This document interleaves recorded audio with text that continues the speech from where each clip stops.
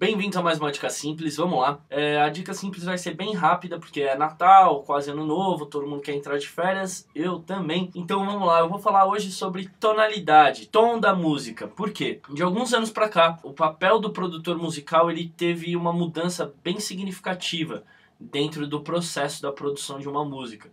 Ele começou a parar de gerenciar a produção de uma forma geral e começou a pôr a mão na massa efetivamente. Ele começou a, a fazer a música do princípio até o fim, tocar, gravar. Então o que é comum hoje? Um cantor virar para um produtor e falar assim, um intérprete, né? Liga e fala, ó, oh, eu quero uma música pop assim, assim, assado, com a cara da fulana. Aí você vai lá e produz a música. Só que quando você produz a música, você não pensa na tonalidade que o intérprete canta. Você simplesmente de deliberadamente faz a música no tom que você quer. Qual o problema disso? Muitas vezes, por não saber qual é, a, qual é a, a, a, o tom mais ideal do, do intérprete que você vai cantar, você entrega uma música que ele não vai conseguir é, dar o melhor da voz dele, porque a música tá fora da tessitura dele, tá fora da região ótima do intérprete. E aí a, o cara não alcança a nota, a música fica meio esganiçada. E ao invés de você mudar o tom, o que você faz? Você muda a linha melódica. Ah, não, canta. Ao invés de você fazer essa nota aguda no final, faz uma nota mais baixinha tal. Vai perder um pouco de impacto, mas melhor tal.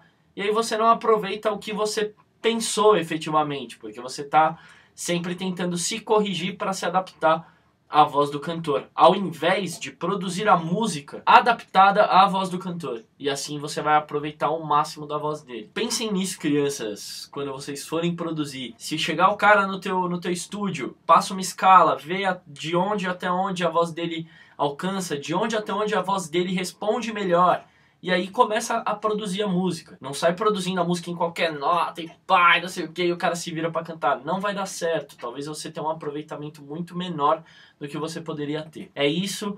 Eu vou eu vou sair de férias, entre aspas, eu vou continuar trabalhando aqui no estúdio, mas eu vou dar uma pausa nos vídeos. Uma outra coisa muito importante, eu esqueci de falar, eu devia ter falado no começo do vídeo.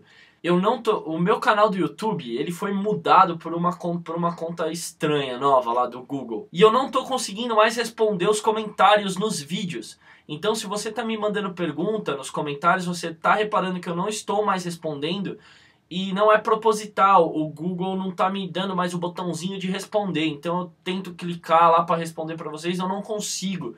Já mandei e-mail para tentar reverter a conta para o modo antigo, eu não consegui e tô tentando dar um jeito de burlar esse negócio novo aí para conseguir responder. Se você quiser se comunicar comigo, manda um e-mail direto para esse e-mail que vai estar tá na descrição do vídeo. iuri@coisasimples.com.br. Beleza? Manda um e-mail para lá, porque aí eu vou conseguir responder para você a, a, a, dúvida que você tem da, da melhor forma possível. Desculpa mesmo, esses comentários estão me irritando muito, porque eu não consigo responder. Ah, acho que é isso. Feliz Natal, feliz Ano Novo